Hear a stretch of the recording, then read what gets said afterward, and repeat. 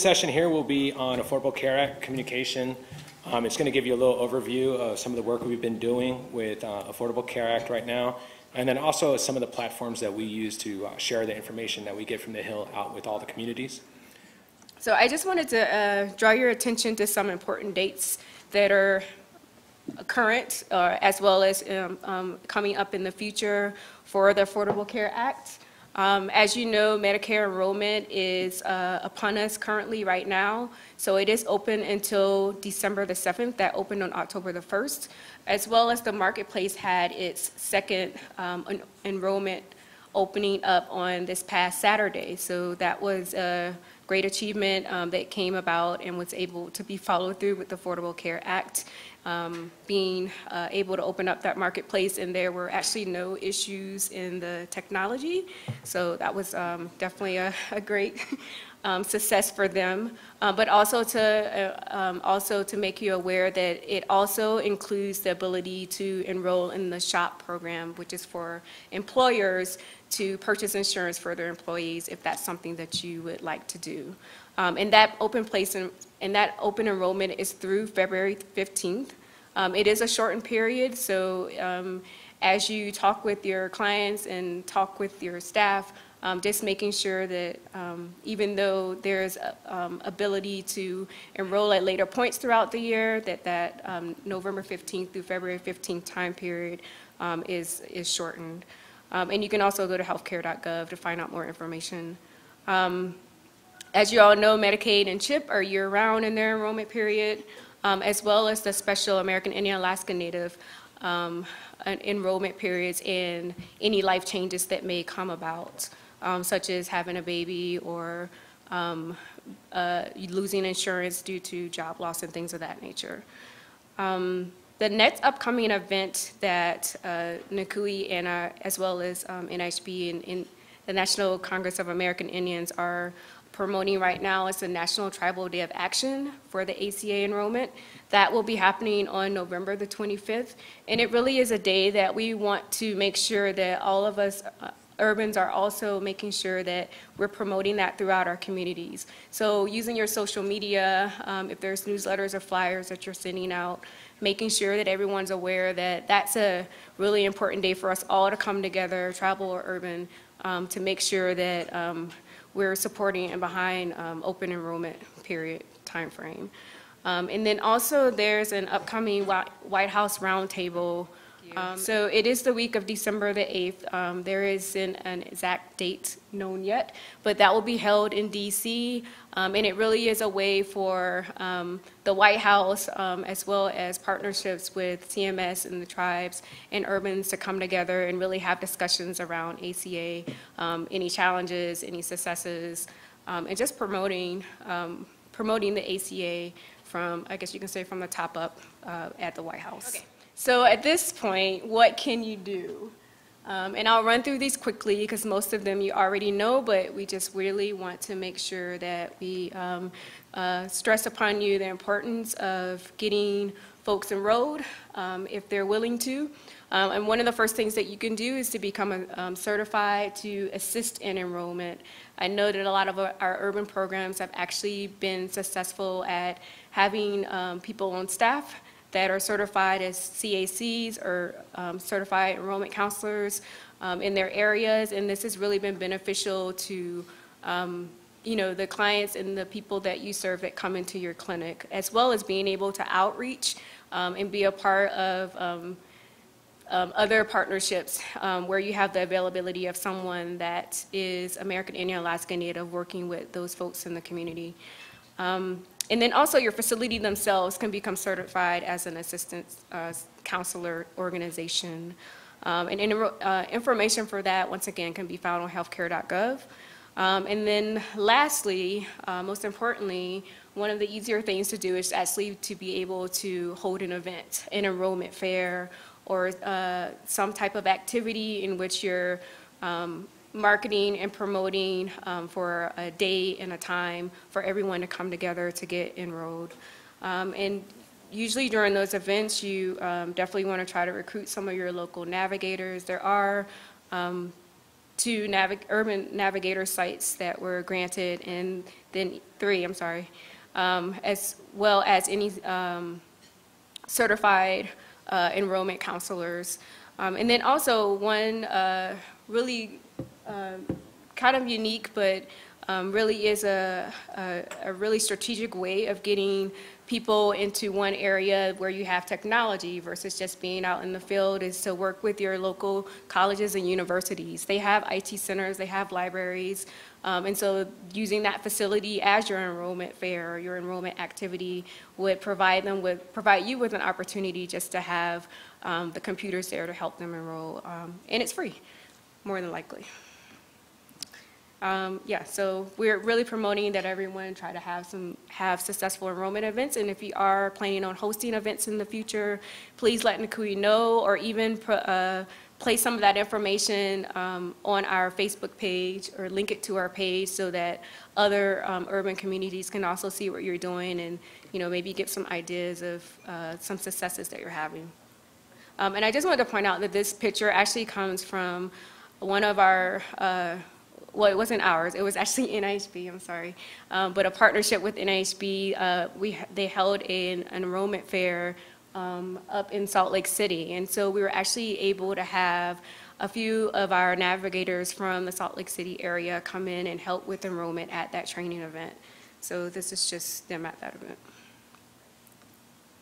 Um, just a few tips about knowing your audience, um, since we're talking about communication, making sure that you're, um, you know who your audience is and who the focus will be for your enrollment event so that you know how to actually market to them. Um, keeping in mind that elders may not use a smartphone or they may not use Facebook, but your youth um, in your community just, that might be an appropriate way to reach out to them.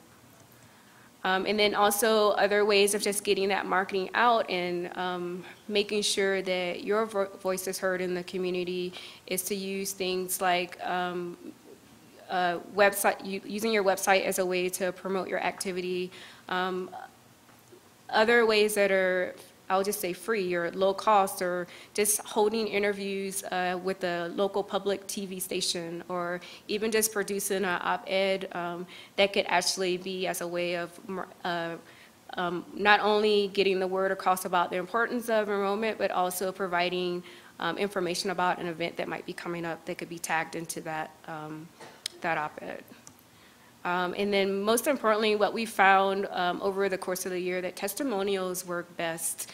Um, If you can find someone in your community that's actually been able to enroll and they have a great story that you can share with other um, folks in your community, it really is um, a a stepping stone for someone that may, you know, they may have some um, hesitation about it. So picking up some stories from your community, even using those uh, stories to to actually work with your uh, state leaders and your local leaders um, in getting some advocacy done as well.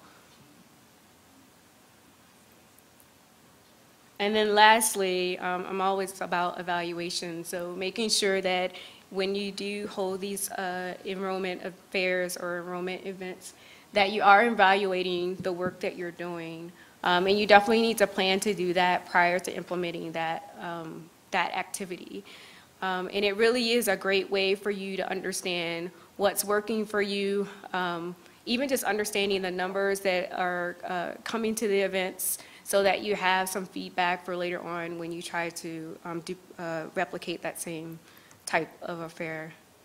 Um, So you actually want to ask yourself, what outcomes are you measuring? Um, What's your purpose of even holding this fair beyond the fact that, you know, you want to try to increase the enrollment of American Indian Alaska Natives? It may help you come up with some questions that you could pose in your evaluation surveys that you create.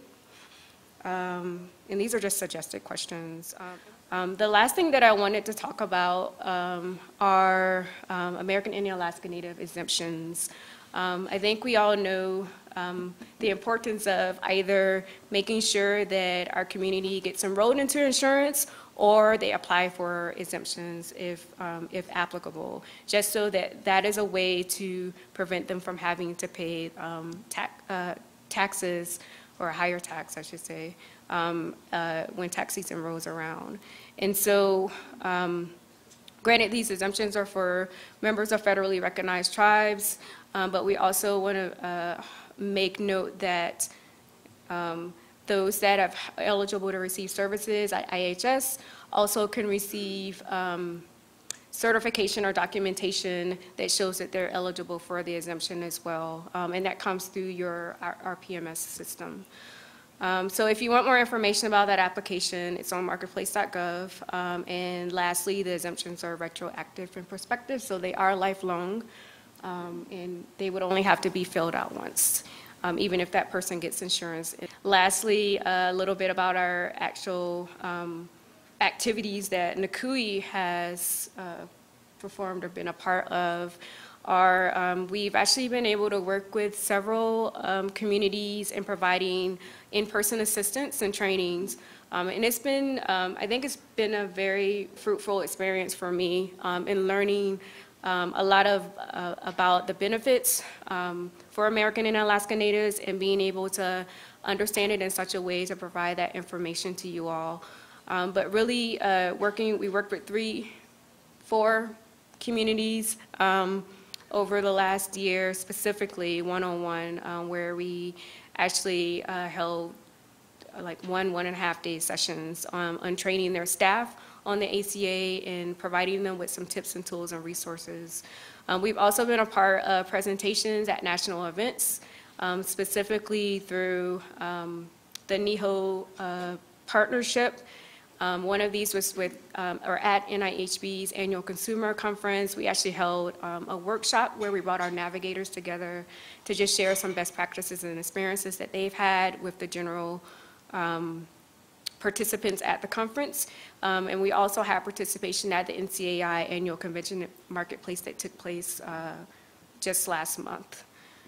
Um, And then lastly, we have been um, able to develop some tools in supporting you all's um, outreach activities. Um, Most recently, there was, uh, through SAMHSA, we actually were able to put together a compendium of some of the best practices that your community, or what you have been using um, for outreach and enrollment. And that actually was released on SAMHSA's website where anyone can go on there and actually uh, um, download that brochure. Um, I can get the link to you later on if you haven't seen it. Um, And it actually came through, uh, I believe there were, there were 12 communities that um, submitted best practices for that. Um, And then lastly, there was the strategy briefs on insurance opportunities for American Indian Alaska Native um, communities that, uh, that came through CMS that was also um, developed um, and released as well. So there are actually some tools out there that are specific to urbans if you um, may have had trouble in the past looking for those types of brochures. And I'm going to skip over some of these, but um, they, uh, there's our contact information. And I wanted to at least promote um, NACUI itself in making sure that you either like, share, follow, connect, and subscribe to NACUI in these ways. And with that, I'm going to actually turn it over to April Hell from NIHB. My colleague Don Coley and I, uh, we make up the Tribal Health Reform Team at NIHB. And Don and I, through uh, our NEHO grant, which is the National Indian Health Outreach and Education Initiative, generously funded by IHS, uh, through that grant, we were able to travel to several different tribal communities over the summer to provide Affordable Care Act training for uh, ITU staff and for tribal community members. We've also set up uh, exhibit booths at several different uh, annual conferences. Um, And when we went out to do these trainings, we often partnered with the uh, IHS area um, and also the uh, area Indian Health Board. So you, if we came out to your community, you might see yourself in one of these photos. So uh, as Um, Kimberly mentioned earlier, and, the photo that she had in her presentation is this same photo. It's become very popular. We were actually out at the Uintah and Ouray tribe in Fort Duchesne, Utah. We partnered with Nikui to provide a day-long training for their community members and uh, their employees um, and invited ITU staff as well. So we were out there um, on July 14th. And as Kimberly mentioned, we also invited um, the navigators from the uh, Salt Lake City area, and they came out and they set up right outside of the ballroom and, and everything that we were talking about, about the special protections for American Indians and Alaska Natives in, in the Affordable Care Act, about the exemption waiver. It was, it, we, they were, folks were in the audience were able to leave our training, go outside and fill out an exemption waiver or find out their options through the marketplace. So that was really neat to partner with the navigators um, a- and when doing out, doing our training, and we try to do that as much as we can. Here, just two days later from Salt Lake, or from Utah, we were in Phoenix. And uh, we partnered with the Phoenix area and the uh, IHS Phoenix area and the um, Intertribal Council of Arizona to provide this training to the Phoenix area. Here we are with the Phoenix Indian Medical Center staff. Uh, Also, we partnered with Nikui, and uh, that's Eric Jordan right in the middle, and my colleague Don Coley in the white coat, and uh, yours truly, right there with that big cheesy smile. And here, uh, we are at, Don is talking with a conference attendee at the Association of American Indian Physicians Annual Conference in Denver. I, I, I keep coming back to Denver. I don't know what it is about Denver. Um, but here we are, Don is talking to this young lady about the exemption waiver. And the materials that you see on this table are part of our elders uh, campaign. Our elders, uh, an ACA campaign, we, um, so um, graciously partnered with uh, a bunch of awesome, awesome um, tribal leaders to, and they, we provided, or I'm sorry, we produced a public service announcement on how the Affordable Care Act strengthens Medicare for our Native elders. So they went and listed the five fast facts of how uh, ACA strengthens Medicare. And from that PSA, we created these awesome materials. So you see uh, some brochures, you'll see some um, posters, and we provided a Affordable Care Act uh, presentation specific to physicians, what physicians need to know about the Affordable Care Act there at the AAIP conference. And then we went to the Navajo Nation. My colleague Don and I hit five communities in five days on the Navajo Nation. It was quite the trip. We partnered with the Navajo Nation Department of Health as well as the Navajo Area IHS. And here we are uh, on July 28th in Window Rock, Arizona. That was the first um, training that we did to, to kick off our journey across the Navajo Res. Uh, I believe there was 146 people that attended this particular training, all ITU staff, and um, and I think I may have asked them if they were a certified application counselor here, and they're raising their hand, or maybe it was um, I asked them if they like mutton or who was bringing me blue corn mush. But th- this journey was incredible, and I have to give major thanks to the Navajo Area IHS and to the Navajo Department of Health. The next day, we hit Crown Point, New Mexico, and there we are. We had a great turnout at each session. The next day, on Wednesday, July 30th, we were at Nenahnezad, New Mexico. The next day, we went, we were in Chinle, Arizona. We were, we switched venues the day before the Chinle uh, training because we had so many people that wanted to come. I think we had nearly 90 folks that showed up here, and we had representatives from the Arizona and New Mexico exchanges, as well as the Arizona and New Mexico uh, Medicaid offices. So that was a really, really informative training session there. And then we ended in Tuba City on August 1st. And here, uh, folks are looking at the exemption form. This was our planning staff. So there's members of the Navajo Nation Div- Division of, uh, of Health here, as well as Navajo Area IHS. And then we went to the Great Plains Tribal Chairman's Health Board Health Summit in Omaha. That was a great turnout there. They have a navigator grant as well, so they had their booth set up and they're here, uh, you'll see here that they're assisting this young lady and uh, she's figuring out what her options are in the marketplace. And then we went out to Oklahoma City, uh, to Shawnee, Oklahoma, and we worked with the Oklahoma City Area Indian Health Board. So there they are, the folks there. And then ACA, I'm sorry, ACC, the NIHB Annual Consumer Conference, we had, sev- as Kimberly mentioned, had several um, Affordable Care Act sessions. So this was one on enrollment assisters, best practices and lessons learned, packed house. Here's one on, uh, again, enrollment assisters. This is Tinka Duran who's standing up. She is the nav, uh, uh, manager of the Navigator Program at the Great Plains Tribal Chairman's Health Board.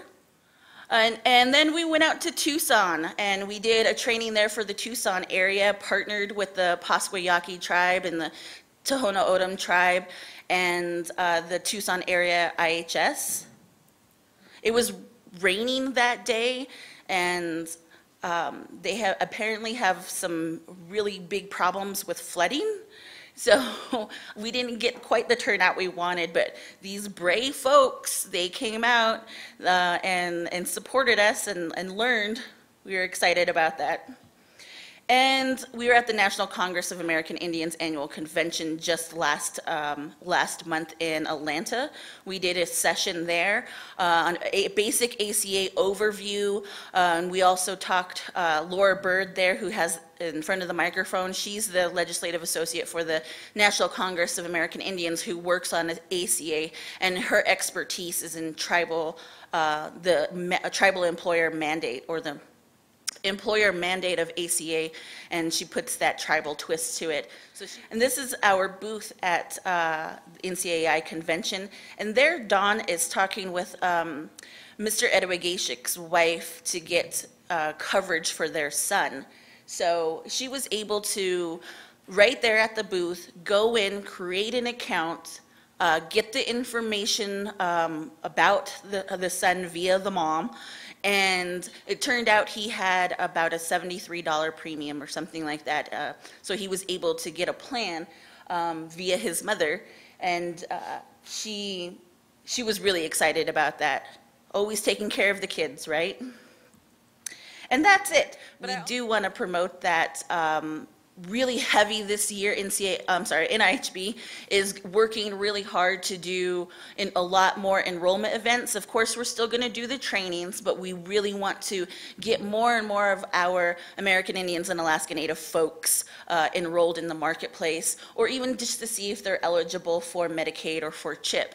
Uh, Building on what Kimberly was throwing out there about uh, outreach ideas and how to involve the, the community, I'm going to build in some best practices that we've learned at Nakui. Uh, Again, I've been there for two years, and one of my first tasks is kind of to streamline our communication. Um, uh, Often, when you have multiple platforms to reach out to people, stories and the actual information that you need to get out is kind of lost. Um, Often, we duplicate our methods, uh, duplicate our software and our, our communications platforms, and uh, we don't keep it streamlined. We don't stick to the actual meaning of what we're trying to get out. And as you can see in this image right here, I mean, with today's technology, information is so easily available, but how do you make it marketable to your community? How do you make it matter to the people that you're trying to reach out to? That's been one of the biggest tasks that uh, I've been challenged with at Nakui. You know, uh, apparently, you know, obviously we have current forms of social media and uh, newsletters, emails that are easy to get out, but are they reaching the people that really the information matters to? Uh, we've been reverting back a little bit more towards a, an older version, print, you know, that's an old version. But, uh, you know, we want to do uh, paper newsletters, paper email, uh, mail outs, because those, those are the ones that matter. People will open that up, they'll read through it. Uh, one statistic that my brother threw out to me was about 44% of American Indians actually have access to the internet. In today's communication, and especially in Washington, D.C., that's a, a, a, huge thing to overlook is how do you reach out to the people, how do you get them involved, and how do you get them to the events that really will help uh, progress healthcare and especially in our, in our communities. Twitter and Facebook are growing so fast that it's, it's, it's on your phones, it's, it's everywhere. Even if you don't have internet service, people have cell phones. And if you want to reach your community, if you want to get a hold of them and actually involve them in Twitter and Facebook, it, it's, it's a snap. People will pick up their phone, they'll enter it in there. Um, it's amazing. Uh, recently, uh, I've been accustomed to Facebook, but recently I've been uh, integrating Twitter more into our communication. We had a Twitter chat. Um, for you that don't know what that is, it's a, a group of people who all tag each other into a conversation that goes on for about 15, 20 minutes through Twitter. Uh, we partnered with the White House, and as you can tell, that, that probably is a, a good partner to build on. So next time they have a call, you guys should all have your communications person sign in. We doubled our outreach in one day in a 30-minute conversation of just me being there, of, of us just tweeting out, sharing what was coming down. Build your, your supporter list. This is, this is a huge thing, and, and it's been said throughout the conference. Um, Dr. Roubideaux came up here and said, you know, we can see you guys are doing great things. We can see you're all doing great work in your community, but who else is seeing it?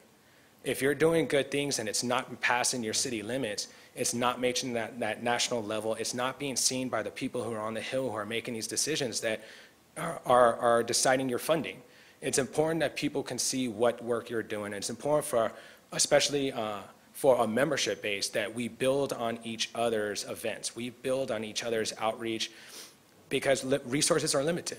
We won't always be able to create our own event, but by partnering with each other and sharing that information, we could piggyback each other and, and really build as, as a membership and as a, as a larger national community, you know, as, as urban Indians. Uh, going forward, we actually, uh, we've been integrating uh, a little bit more face-to-face through, through uh, electronics, uh, Skype. Uh, GoToMeeting is one of my favorites. We actually had a call October 22nd going over communications, how we can streamline it, how we can make it more efficient, um, and how can we reach out better. Uh, we know that you as uh, executive directors, CEOs, um, you all have a ton of work to do to keep your programs going. You know, if there's a problem with getting the information down, reach out to us. Let us know who is your communications person. If you don't have a communications person dedicated only to that, let us know how we can, you know, uh, send out maybe three or four people in your organization and we can share that information. It's, uh, it's important that we all are on the same page as we go forward. Uh, to pass the Indian Healthcare Improvement Act was one step, but now to actually to implement it, that's the next big one. Um, outreach, enrollment, all, all these are very important for us to continue to grow our numbers and to make sure that the numbers that are growing are being seen on the national level. Um, I've been using uh, Salsa Labs as a newsletter. Some of you might use Constant Contact. All of them are great. They all have analytics, and that is a moneymaker. If you ask our technical assistance area, if you have the numbers to show people are looking at what you're doing, you're marketable. You, you are reaching people, and when you show that to your project directors, when I show it to my uh, development director, my, my supervisor, those numbers go a long way. Um, and it's important to document them. Um, if you need help on how to store them, how to build them, how to word it, please reach out to me. Um, it's something that I've been uh, challenged with over the past year and a half, and I think uh, we as an organization have became better on, on growing and, and marketing those numbers. Um, our website, uh, Alejandro is going to go forward and he's going to talk to us about. Uh, we are re, uh, integrating multiple websites into one version. Uh, right now, we have three separate websites. One is the urbanindianhealth.org, which fo- uh, focuses on policy and legislation. Uh, the second one is our actual website, the nukui.org, gives you a general oversight of everything that we got going on, our special projects, uh, different communications, um, also our blog is con- consistently uh, updated. Our third website is actually the Knowledge Resource Center. This is a, a hub of information. It's considered like an electronic library of uh, documents we've collected over, I believe it's about seven years now. Um, it's a pet product of Alejandro that I came in midway and was uh, challenged to try and keep it, keep it going. Uh, This is another way that we want to make sure we integrate all three websites to make it easily navigable for you. Um, And then the third, the last one that we've actually started going back towards is our print newsletter. Again, you, you have to have a spectrum. It has to be uh, multiple platforms to really target as the wide, uh, as wide of an audience as we can. So I'm going to pass it over to Alejandro. He's going to go through, and then I'll be back up here in a couple minutes. So something that I realized is that, you know, the Nekui has evolved it has evolved quite a bit, and, we, all have evolved. You know, the clinics, the members. Uh, in regards to our work, uh, when when I left NECUI, the IHCIA or IKEA had just passed, and our our work as a national organization, it was policy. We were pushing so forward uh, and so much uh, to uh, for IHCIA and the healthcare reform to pass, and it passed. And so with that, you know, the, the scope of work for NECUI changed completely, right? From just policy-focused work and trying to go to Congress all the time to actually implement uh, the healthcare reform or uh, technical assistance. So that's why uh, Kim, you know, um, gets to work so much on this. So with that evolution, you know, uh, also our main means of communications change. So uh, the current state of our communications tools reflects these changes. So uh, in, for us to try and to accomplish so much uh, in regards to technical assistance, research, policy still working on it, communications becoming its own field. Uh, so we evolved in different ways trying to approach uh, everything that we could. So we have three websites that we now have to integrate. One is policy focused, the other one is research focused, and the other one is the information that should be ready, uh, readily available for all of you. So um, what I want to say is that we are, are going to undergo, if I may say that, uh, a restructuring of, of, the communication to serve you better. Because at NECUI, we're here to serve you. Uh, and also in regards to communications. And something that I was just uh, talking to Rin about before is that communications is a two-way. You know, otherwise, if we are just disseminating information, we're just putting information out there for you to see. And, and sometimes with just one person, and I, I, praise Reno for everything that he does because he has so much information that he has to disseminate to all of you. Sometimes it gets very overwhelming. So what we're going to try to do with this is we're going to streamline everything that we do. We're going to make it very easy internally and, and externally to communicate with you. So um, my message that I wanted to, to give you is that please uh, talk to us, communicate with us, anything that you would like to, to say, uh, positive feedback, you know, uh, or, you know, any criticism, anything, just please let us know how we can improve and, and do better our work. And, and so that's something that I, I, would really uh, appreciate if you do. So here we have uh, the work and evolution from policy to T, uh, TA implementation, and there has been an exponential growth. Uh, for NECUI, not only in, in, the amount of work that we do, but also the scope of work that we uh, are doing now with the grants with the navigators and NIHO. Uh, we, we worked a lot with CMS, which is something that we didn't do other than in policy in the past. So the scope of work that we have is much larger, and that has to be reflected in the communications that we have with you. So this is, this is more or less uh, a visual, uh, being a communications major, you know, I, I always use visuals as, as aids, also because, uh, you know, sometimes I get stutter in English. So I thought that, you know, visuals are much more easier for me to share with you. Uh, this is, uh, let's say that the left part is all that we have. You know, we have so much information to share with you. And it is only valuable if, you, if, it reaches to you, to your community, uh, to the right person. Sometimes we have bottlenecks in regards to communication, and it has to do with the means that we use. Sometimes it has to do with who we are reaching out to, or any other uh, problems that we have. So we need to uh, um, have a, an organization of the information to reach better the people that we have to reach. As um, many of my colleagues have shared here, you know, younger generations use a lot of social media and I think, uh, you know, our generation is also catching up, and older generations are catching up, but we have different means of communications for dif from different people, and we just have to organize information so we reach out to the right people, uh, giving the, uh, the right message. So we have all this information. What we want to do is to create like that tree, you know, it's the same information, but it's organized in a harmonized manner. And you know, people are attracted to different uh, things in different ways, and we may be able to provide that information, the same exact information, to an elder, to somebody who's in mid-career, to somebody who's younger, to somebody who's youth, uh, in different ways, and that's what we're trying to do. So, um, in order for us to reach to that point, uh, we're going to do the restructuring, as I mentioned, of the website, but we're also going to be restructuring inside or internally. Uh, we have uh, the communities of learning that are led by Dr. Fowler, and, and, you know, so we have to streamline all that information, provide an infrastructure to, to give you the best of the communications that we have uh, at NECUI. So as you may see under the tree, there has to be an infrastructure. We're working on that, and we're working on that to serve you better. Uh, so my, my last message that I just want to mention is uh, uh, communication again is a two-way, so please, you know, uh, let us know anything that, uh, that you would like to let us know. And with that, I'm going to pass it again to Reno uh, for the following reason. We're going to start also working on, on a larger marketing uh, campaign, and uh, Reno is going to start the preliminary work for that, and he's going to talk a little bit about it. Thank you.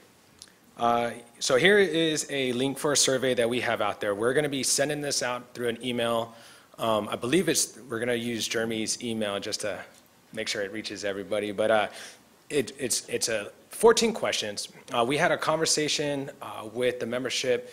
We've had a, a very small turnout, but it was October 22nd, and we went an overview of the survey, um, asking a couple basic questions just about what internal communications uh, the membership uses, uh, what external communication platforms you all use to get your information out to the communities, and also how can we reach you better.